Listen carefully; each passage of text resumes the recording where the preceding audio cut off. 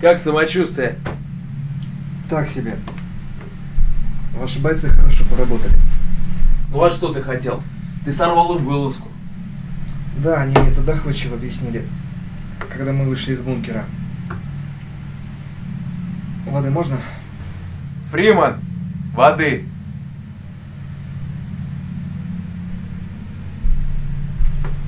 И развяжи его.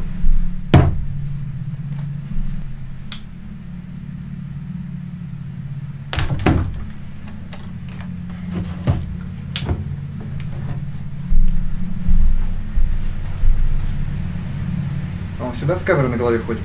Ага. Он так же, как и ты, снимает все подряд. Надо же. Я думал, что только я такой долбанутый. Да нет, не только ты. Кстати, ты снял для него отличный материал в бункере. Но он не сможет тебя поблагодарить.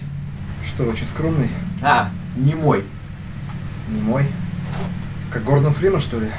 Именно. Кто вы такие? Да, я думаю, стоит рассказать о себе. Я бывший офицер армии Черноруссии. Зовут меня Виктор Левченко.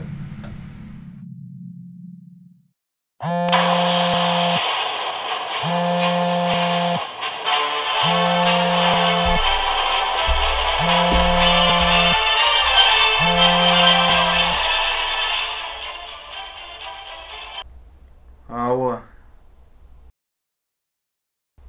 Ага. Ну давай. До вечера.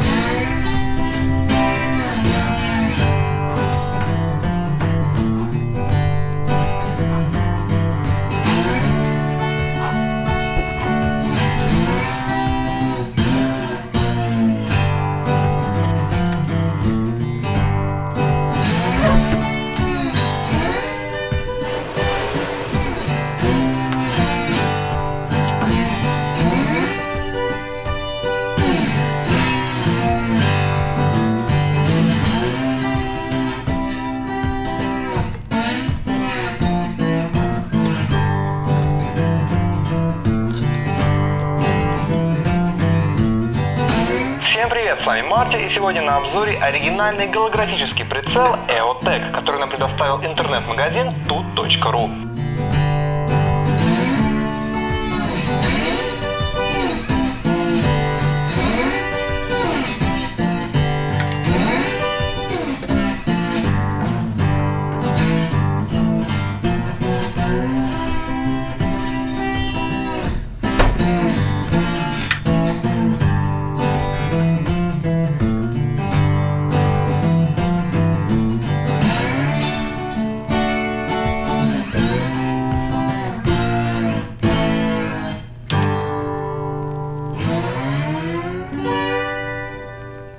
Всем доброго дня! Вы слушаете радио Черноруссия FM.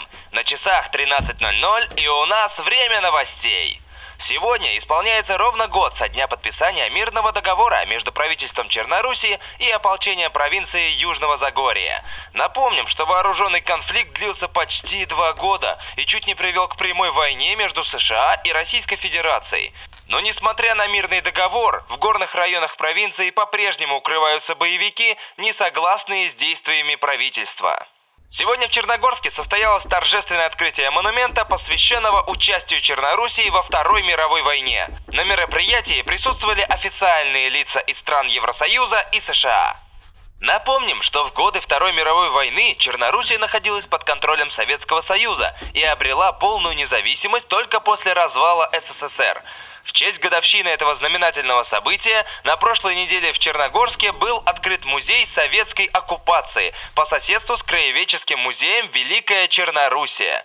Теперь наши граждане и туристы могут узнать всю правду о данном периоде истории нашей Родины. Ну а если вам лень идти в музей, почитайте об истории Черноруссии в Википедии.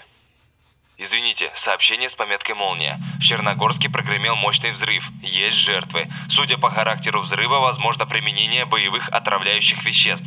Объявлена срочная эвакуация населения из соседних районов. Возьмите документы и выходите на улицу. Скоро за вами приедут и вывезут из опасной зоны.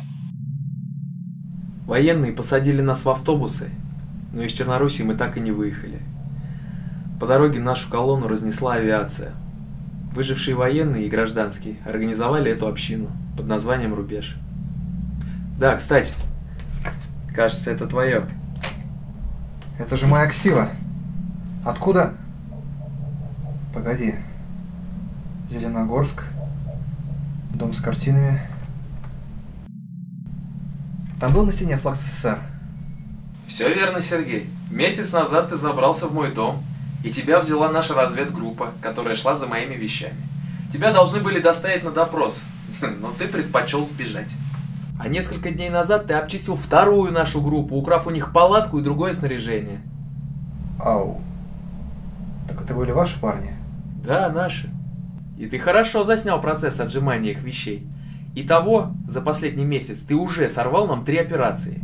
И до сих пор жив. Ну, везет мне. Да нет, дело не только в везении. После начала эпидемии выжившие поделились на овец и волков. Многие овцы прожили недолго, их сожрали либо зомби, либо волки. Ты не овца, поэтому и жив до сих пор. У меня для тебя на выбор два предложения. Первое. Мы тебя отпускаем, и ты выживаешь так, как хочешь. Второе. Ты вступаешь в нашу общину и делаешь все возможное для ее выживания. А есть и другие общины? Есть и другие. Но большинство из них не отличается адекватностью. Ну так что ты выбираешь?